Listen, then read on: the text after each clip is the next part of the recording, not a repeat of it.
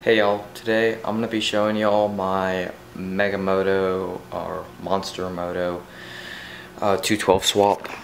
Two, 212 swapped. Um, it used to have a little electric motor in it. This right there, it's it's actually a Monster Moto. It had a little electric motor and it used to be right here, but this is the 212 I swapped onto it. And I put a stage 1 kit on it, but let me show y'all how to how to swap these. It's pretty easy. So you unbolt the old um, system, electronic system or 80cc motor you had on one of these. And there's probably going to be four, four bolts underneath. Four, four bolts underneath. Right there. And you just unbolt the old one. And then, after you unbolted the old one, you pull it out and you take off whatever old twist grip was on there because I had an electric twist grip with mine, so I had to buy a new twist grip. But then you drop in your Predator and uh, you just mark it up with Sharpies, like a white Sharpie or like a paint Sharpie or something. Uh, put it through the engine hole and mark up the plate, and then you drill the holes, find some bolts that fit, put them through, or you could use the originals if you had an 80cc motor. And so you just and then you just hook up your throttle and all that. And then your motor's in.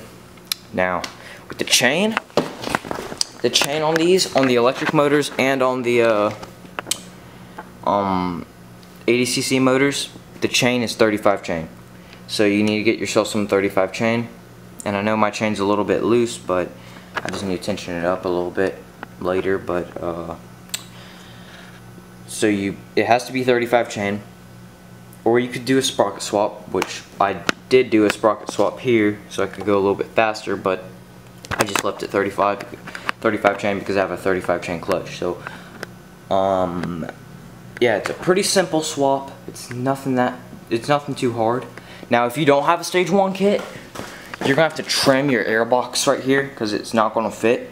And another thing you gotta trim on the engine is the, the old drain plug right there um, you're gonna have to cut it but you can still drain the oil because right there you got one in the back too. So you'll you're good there. Um, now if you want to bolt up a stage one kit uh, I suggest getting one of these pipes or like a center exhaust that center exhaust that comes like from there to here and doesn't touch this. Um, uh, mine hits the frame a tiny bit but I'm not worried about that because it bolts up perfectly. There's no exhaust leak here or nothing. But it hits the frame just a tiny bit right there. But it's nothing that I would really worry about. Um, so, for stage one kit, the exhaust is the easy part. The hardest part is getting that filter on because I didn't put no riser here. I didn't, um, some people, what they do is they cut, um, they cut the plate, they cut the plate oh sorry. They cut the plate right there and they re-weld it to there so your engine's up a little bit and away from here. It comes up a little bit more so you can mount one of these on. But I didn't feel like doing that so what I did is back behind your carburetor there's something called a carburetor insulator. And what that does is it just it's basically a spacer and it's about that thick.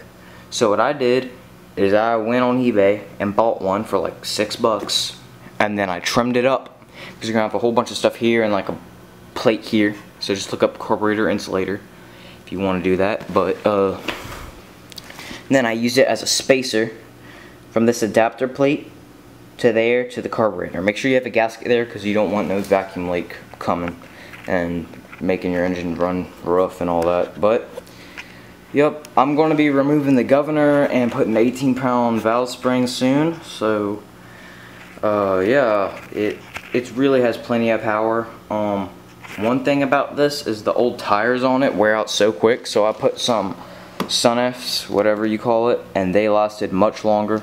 And I still got a little bit of tread left. I ride this thing a lot, but uh, yeah.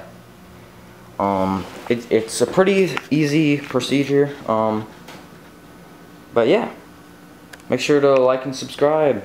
See y'all next time on Louisiana Rebel TV channel. Later.